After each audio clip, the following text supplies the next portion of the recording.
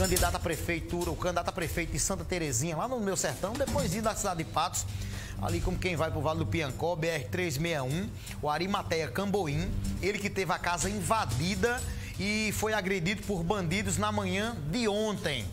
A família dele teve, foi feita refém e em um dos vídeos que circula nas redes sociais, que eu recebi até outros vídeos, além desse vídeo aí, eu recebi outros também. É, eles registraram o terror em que viveram. Olha aí, ó. Bota aí ela amarrando aí, coloca situação que se encontrou. Chegaram às 6 horas da manhã arrombando a porta, dizendo que era Polícia Federal. Depois começaram a, a, a, anunciar o assalto. Entendeu? A gente ficou todo mundo aqui nesse quarto no chão, mandando baixar a cabeça, que senão a gente ia morrer. Minha, meus filhos, depois trancaram a gente dentro desse banheiro, as mulheres. Meus dois filhos. É triste. Deixa rolar o vídeo aí, eu vou chamar o guia agora. É triste, né? A gente ver isso na nossa Paraíba, tá? Vou pro guia eleitoral, propaganda eleitoral gratuita e volto já. Segura.